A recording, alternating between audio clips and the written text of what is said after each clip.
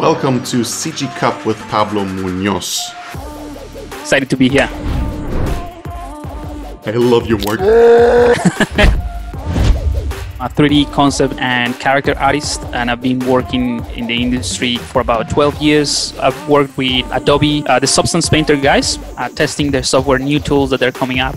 We'll try to squeeze your creative mind. Great. So, what do you got here? Today, I will tell you our story. Ooh. I reckon I'm just gonna start with some ideas. Yeah, that, that's rubbish. you just love all of your children. no.